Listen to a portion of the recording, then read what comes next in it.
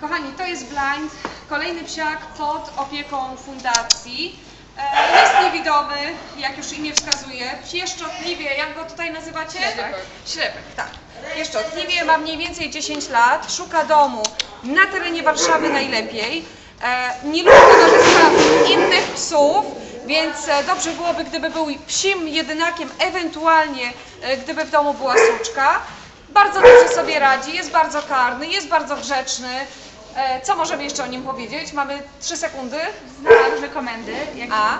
Tak, bo ty- dom tymczasowy już właśnie Usiądź. nauczył, e, nauczył jego właśnie. Widzicie, jak się nogi tupnie i się powie siad, to piesek siada, taki jestem super gościu. Szukamy domu.